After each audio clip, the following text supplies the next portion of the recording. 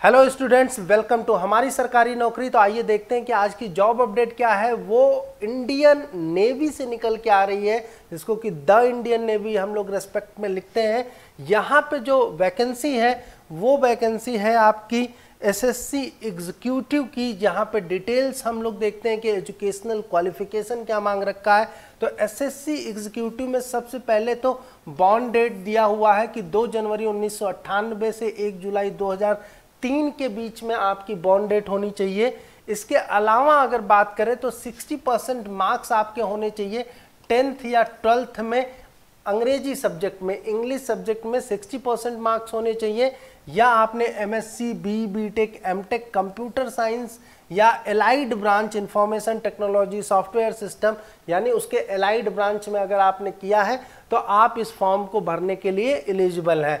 MCA या B C A B S C आपने computer science से कर रखा है, तब भी आप एलिजिबल हैं इस पोस्ट के लिए। टोटल नंबर ऑफ़ वैकेंसी की बात करें तो 50 वैकेंसीज है, जो मेन एंड वोमेन दोनों के लिए है। अगर लास्ट डेट की बात करें तो 5 अगस्त 2022 से 15 अगस्त 2022 के बीच में ये फॉर्म ओपन रहेगा और इस फॉर्म को आप फिलअप कर सकते हैं। यहाँ पे एक वेटेज दिया गया है एनसीसी कैंडिडेट्स के लिए, जिनके पास एनसीसी सी सर्टिफिकेट है, उनके उनको फाइव परसेंट का वेटेज दिया गया है कट ऑफ़ मार्क्स में। अब अगर बात करें कि सिलेक्शन के लिए तो सबसे पहले तो शॉर्ट लिस्टिंग जो होगी एसएसबी के लिए, वो शॉर्ट लिस्टिंग आपके, अगर आपने बीटेक कर रहे हैं और आप परसुइंग में हैं फाइनल ईयर में हैं तो आपके फिफ्थ सेमेस्टर के मार्क्स तक के फ़र्स्ट टू फिफ्थ सेमेस्टर के एवरेज मार्क्स के आधार पे आपकी शॉर्ट लिस्टिंग होगी। और जो बच्चे क्वालिफाई कर चुके हैं, वो अगर फिलअप करते हैं तो उनके फाइनल मार्क्स पे इनकी जो शॉर्ट लिस्टिंग होगी, वो शॉर्ट लिस्टिंग किया जाएगा। अगर आप वहाँ पे शॉर्ट लिस्ट कर लेते हैं तो आपको इनके एसएसबी इंटरव्यू के लिए आपको बुलाया जाएगा। शॉर्ट सर्विस सिलेक्शन, यहाँ पे एक एसएसबी इंटरव्यू होगा।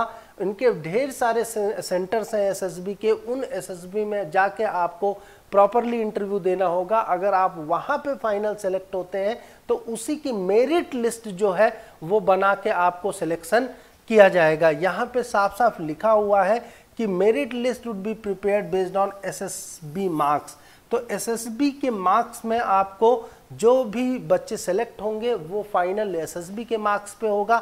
यहाँ पे जो आपके बीटेक के परसेंटेज हैं, वो केवल शॉर्ट लिस्टिंग के लिए काम आएँगे। यहाँ पे सिलेक्शन जो होगा, वो यहाँ से होगा। टेन्योर ऑफ़ कमीशन की बात करें तो पहले 10 साल का है, फिर दो साल दो साल करके चार, यानी टोटल चौदह साल का आपकी सर्विस होगी। इसमें जिसमें दस प्लस दो प्लस टू ये ये आपका रेशियो रहेगा। पहले दस साल रहेगा, फिर दो साल, फिर दो साल करके दो टेन्योर आपको दिया जाएगा। वो भी डिपेंड अपॉन द फिटनेस अगर आपकी फिटनेस अच्छी रहेगी तो उसके अकॉर्डिंगली आपको सर्विस पीरियड दिया जाएगा। अब बात करते हैं कि इसको अप्लाई कैसे कर सकते हैं। तो अप्लाई करने के लिए आप join Indian navy dot G O V dot in पर आप चले जाइए। वहाँ पे जाके आप प्रॉपरली इसको अप्लाई कर सकते हैं। और अप्लाई करने के लिए आपके जितने भी जो डॉक्यूमेंट्स हैं, वो ऑनलाइन आप अपलोड करेंगे और प्रॉपरली आप अप्लाई करेंगे।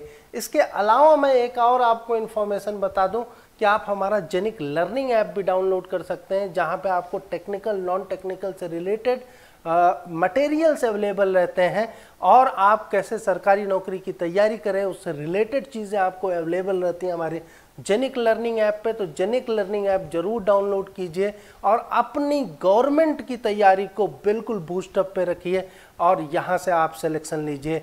हमारा टेलीग्राम चैनल ज़रूर ज्वाइन कीजिएगा, जहाँ पे सारी की सारी इन्फॉर्मेशन रिलेटेड टू सरकारी नौकरी वहाँ पे लगातार दी जा रही हैं और आपको इससे सारा बेनिफिट वहीं पे एक ही चैनल पे मिल जाएगा। तो आप बने रहिए इस चैनल पे। मिलते हैं किसी नेक्स्ट वीडियो पे। Thank you thank you to all.